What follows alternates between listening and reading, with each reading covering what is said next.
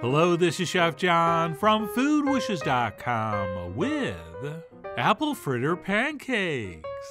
That's right, we're making pancakes that taste like apple fritter style donuts. Which, by the way, is not the same thing as making an apple fritter in the shape of a pancake.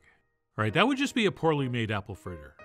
Okay, what we want here is the same taste, but in the form of a very light, very fluffy, perfectly made pancake.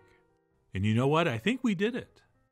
So, with that, let's go ahead and get started with this very, very simple batter, which begins with one large whole egg, to which we will add a little touch of white sugar, followed by some classic apple fritter donut spices, including cinnamon, of course, as well as some ground ginger, plus some freshly grated nutmeg that I freshly grated ahead of time. And then we're also going to need a little pinch of salt, as well as a little touch of vanilla extract. And please use the pure and the real. And that's it. Once all that's in there, we will take a whisk and we will start mixing. And we will keep mixing until we stop mixing. And don't worry, you'll know when that should be. And that's it. Once that's been completed, we'll move on to the star of the show one large, beautiful sweet apple, which we will grate in using the large holes of our cheese grater. And yes, I am grating in the skin, which is fine and works great, but we don't want to grate in the seeds. So as you get in close to that core, be careful. And one of the keys here is to be using a sharp grater.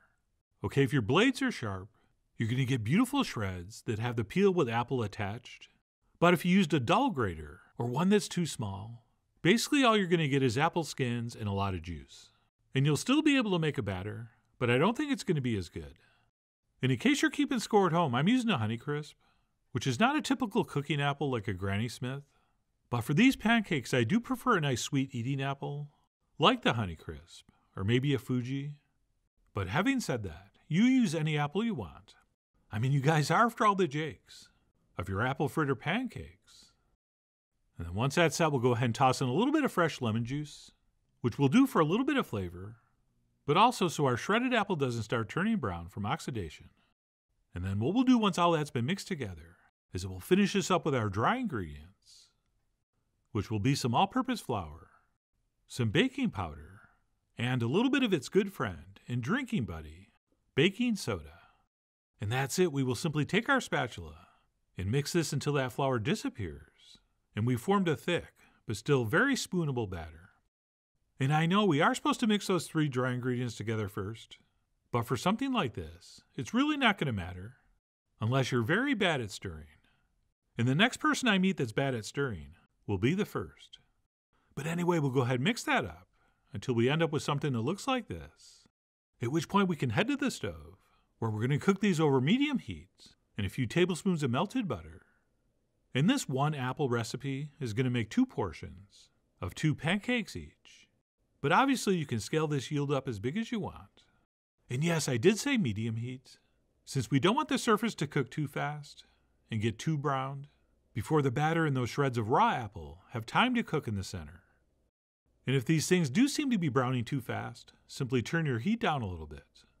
All right, that is just you cooking. And you should never be afraid to make little adjustments like that along the way. And once we have our pancakes portioned out, we will let those cook for about three minutes per side. Although that's really just a guess. All right, that's all you get around here. You have to figure out the exact time they're done. But one way you can kind of tell you're getting close is if the pancake springs back to the touch. All right, if it feels kind of mushy and holds a finger mark, it's probably not cooked inside. And we'll want to give that another minute or two. Oh, and it probably does nothing, but after I flip pancakes, sometimes I'll give them a little turn like this, so that the part of the surface of the pancake that was in the middle of the pan is now on the outside of the pan, which might help these cook more evenly, although I certainly can't prove it, and really don't have the time or resources to try. But anyway, like I said, we'll give those about three minutes per side until our pancakes are springing back to the touch and the other side is nicely browned as well. And that's it. Once those are done, we'll go ahead and pull them off the heat and serve those up, hopefully next to some beautiful breakfast meat, with a nice breakfast sausage being my preferred pairing. And then I went ahead and finished mine up with some warm maple syrup, which I think works on all pancakes, but especially ones that taste like apple fritter donuts. And that's it. I grabbed a fork and dug in to what was a truly outstanding pancake. Right, that, my friends, really does taste like an apple fritter donut but the texture is completely different. Right, an apple fritter donut is heavy and dense, with a much higher fat content, whereas these are very, very light and airy and delicate, and not nearly as rich and heavy. Although that doesn't mean these aren't comforting and satisfying and filling. Right, they really are, which, if I'm being honest, is a little bit surprising, since these don't have any butter or oil in the batter, and about half the volume of the batter was actually grated fresh apple, which makes these fairly nutritious and relatively healthy, which makes how incredible these are even more shocking. Oh, and even though I love these with maple syrup, if you did want to go with pure apple goodness, you could reduce some apple cider down till it gets a little bit syrupy and use that to top these with. And I think that would also be very nice. And I'm not exactly sure how, but all that apple skin really does disappear into the pancake. Right, if we're looking at the cross section, it kind of looks like a regular pancake. And they really do have an almost identical texture to a regular pancake. So if you're a little hesitant about adding those skins in, don't be. And they really do add a lot of beneficial fiber. And don't even get me started on the vitamins and minerals. But anyway, that's it. What we're calling apple fritter pancakes. If you love apple fritter style donuts, but also want an easy to make, relatively healthy and nutritious pancake, then I really do hope you give these a try soon. So please follow the links below for the ingredient amounts, a printable written recipe, and much more info as usual. And as always, enjoy.